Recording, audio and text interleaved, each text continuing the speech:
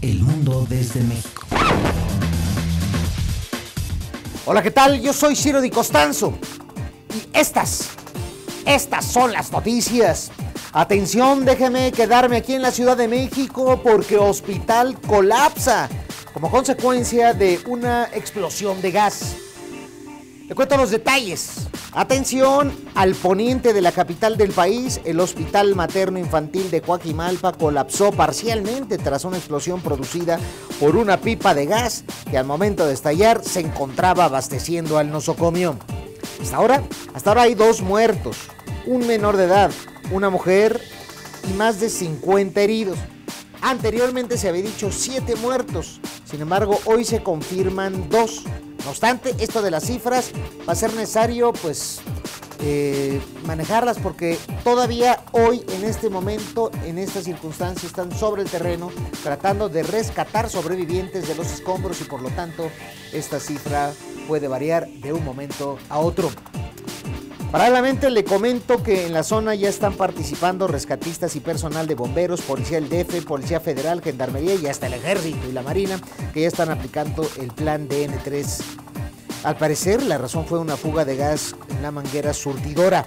A esta empresa gasera, Express Nieto, ya había tenido otro accidente mortal en el pasado.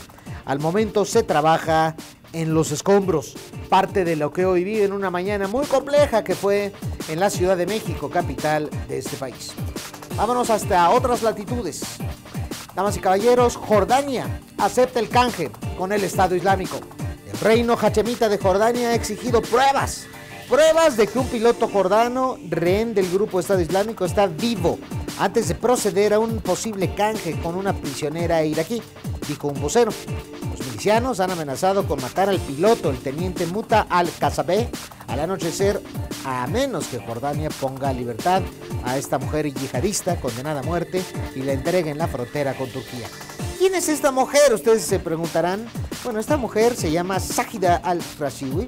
Está acusada de participar en un ataque mortífero a un hotel en Amán hace una década y está condenada a muerte. Está sentenciada y condenada a muerte. De tal manera que exigen su liberación para poder liberar al rehén jordano que tiene este Estado Islámico. Por supuesto, vamos a estar al pendiente, muy al pendiente de lo que esto ocurra. Me voy a otras latitudes. El CELAC exige el fin del embargo a Cuba. Así es, los mandatarios de América Latina y el Caribe reunidos en la cumbre del CELAC concluyen con un firme respaldo a Cuba y un llamado a Estados Unidos para que levante el bloqueo económico sobre la isla. ¿A pesar de qué? Pues a pesar de que la pobreza afecta a 167 millones de personas en esta nuestra región, el tema central previsto no fue esa pobreza a la que le hago referencia, no fue la pobreza que nos agobia, no fue eh, la violencia que nos agobia, no fue el narcotráfico que nos atrapa, no. Fue el tema central, los acercamientos entre Cuba y Estados Unidos, eh, que en diciembre le restaron protagonismo y hoy también durante este encuentro de 33 países latinoamericanos que integran el CELAC. El CELAC es la comunidad de estados latinoamericanos y caribeños. Se alzaron las voces, ya saben ustedes, de los mandatarios de Venezuela, de Bolivia, de Ecuador, de Nicaragua y de El Salvador y varias islas del Caribe para solicitar a Estados Unidos que acabe el embargo. Uf, me voy rápidamente hasta Chile. Voy a platicar por qué. En Chile se aprueba el matrimonio gay. El Congreso chileno aprobó la primera ley de uniones civiles o de hecho que regula la convivencia y crea un nuevo estado civil accesible a parejas heterosexuales pero también homosexuales. Una demanda histórica de la comunidad gay en aquel país. Tras cuatro años de tramitación y con un amplio respaldo, la ley crea el Acuerdo de Unión Civil, así se le llama el AUC, que hace posible que estas parejas que conviven sin estar casadas pues, compartan bienes a nivel jurídico, reciban herencias, reciban pensiones o ser eh, cargan el sistema de salud, entre otros derechos que otorga esta nueva ley.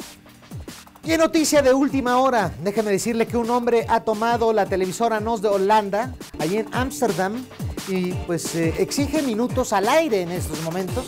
Así que le sugiero le invito a mantener mantenerse informado a través de bluereport.com.mx la evolución de esta noticia emergente que por supuesto aquí consignamos en este resumen global y que desde luego evolucionará para ver si es arrestado y de qué manera y qué es lo que busca y qué es lo que sucede ahí en Ámsterdam. Así son las cosas, así se las hemos contado. Manténganse informados a través de blurreport.com.mx. Blue Report. El mundo desde México.